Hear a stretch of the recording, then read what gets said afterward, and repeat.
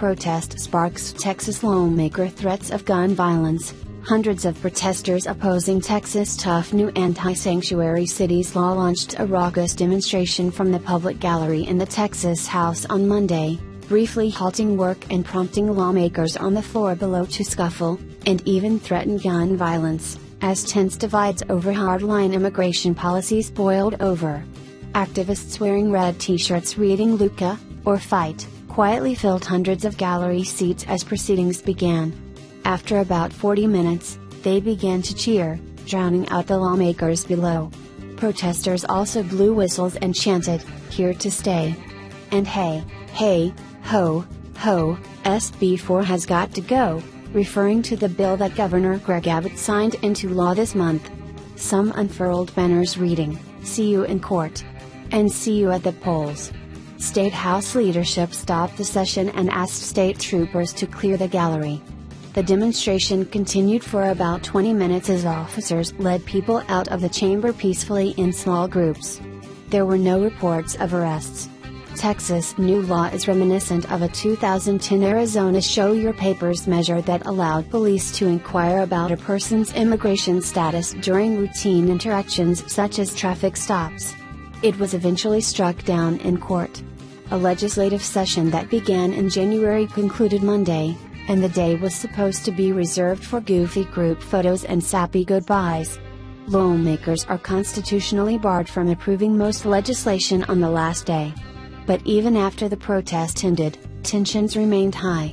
Representative Ramon Romero, a Democrat from Fort Worth, said he was standing with fellow Democratic Representative Cesar Blanco of El Paso when Republican colleague Matt Rinaldi came over and said, This is BS.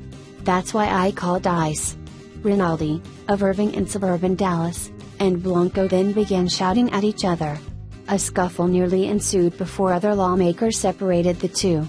Later, a group of Democratic lawmakers held a press conference to accuse Rinaldi of threatening to put a bullet in the head of someone on the House floor during a second near scuffle. They said the comment was made in the direction of Democratic Representative Pancho Nevarez, from the border town of Eagle Pass. In a subsequent Facebook statement, Rinaldi admitted saying he'd called federal authorities and threatened to shoot Nevarez, but said his life was in danger, not the other way around. Nevarez threatened my life on the House floor after I called ICE on several illegal immigrants who held signs in the gallery which said I am illegal and here to stay, Rinaldi wrote. He said Democrats were encouraging protesters to ignore police instructions and, when I told the Democrats I called ICE, Representative Ramon Romero physically assaulted me, and other Democrats were held back by colleagues. Rinaldi said Nevarez later told me that he would get me on the way to my car, Rinaldi said he responded by making it clear I would shoot him in self-defense, adding that he is currently under Texas Department of Public Safety protection. Texas new law requires police chiefs and sheriffs, under the threat of jail and removal from office, to comply with federal requests to hold criminal suspects for possible deportation. Police also can ask the immigration status of anyone they stop. The bill was viewed as a crackdown on Austin and other sanctuary cities, a term that has no legal meaning but describes parts of the country where police are not tasked with helping enforce federal immigration law. Monday's protest was organized by activists who canvassed over Memorial Day weekend in Austin. They informed anxious immigrants about the rights they retain despite the law and urged grassroots resistance against it. Abril Gallardo rode 15 hours in a van to Austin to urge fellow Hispanics to fight back. Fear motivated me to get involved, said Gallardo, a 26 year old Mexican native who entered the U.S. illegally at age 12. Texas cities and immigrant rights groups have challenged the legality of the law, hopeful for a legal victory like the one in Arizona, but that could take months to have any effect.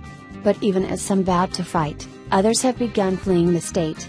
Their ranks are still too small to quantify, but a larger exodus, similar to what occurred in Arizona, could have a profound effect on the Texas economy. The state has more than 1 million immigrants illegally in the country, according to the Migration Policy Institute. Some are abandoning Texas for more liberal states, where they feel safer, even if it means relinquishing lives they've spent years building.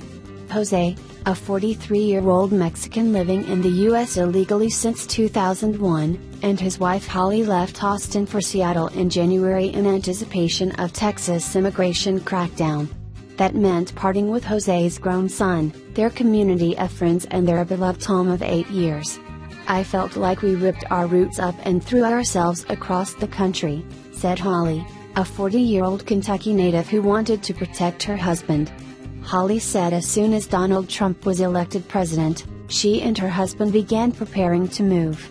They expected Texas would follow Trump's agenda trying to force local law enforcement to do immigration's job. And when they heard Texas had approved a crackdown on sanctuary cities, she said they finalized the decision.